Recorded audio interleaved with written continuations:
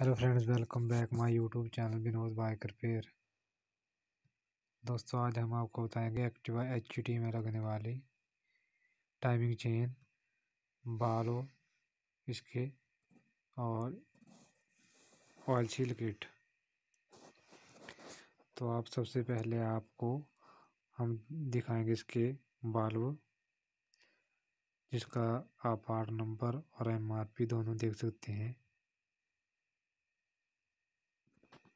चार सौ तैतालीस रुपये इसका एमआरपी है और यहाँ से भी आप इसका एमआरपी और इसका पार्ट नंबर आप देख सकते हैं और साथ में इसके साथ सी ऑयल सील भी साथ में आती है इसकी और इसकी क्वांटिटी भी लिखी गई है।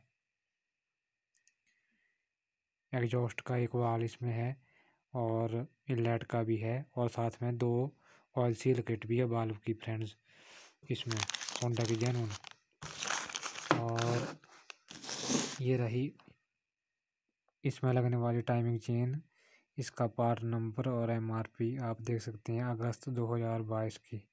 एक सौ बहत्तर रुपये इसका एमआरपी है और इसमें जो टाइमिंग चेन निकलती है वो डायमंड कंपनी की है फ्रेंड्स। तो यहाँ से आप इसका पार्ट नंबर देख सकते हैं।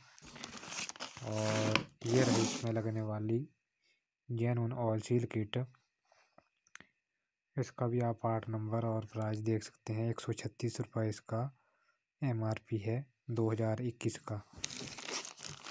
और ये इसका पार्ट नंबर है होंडा की जैन वन और यदि आपको हमारी वीडियो पसंद आए तो हमारे चैनल को सब्सक्राइब करें, लाइक करें और साथ में कमेंट करके बताएँ कि अगली वीडियो किस टॉपिक पे हम बनाएँ। धन्यवाद।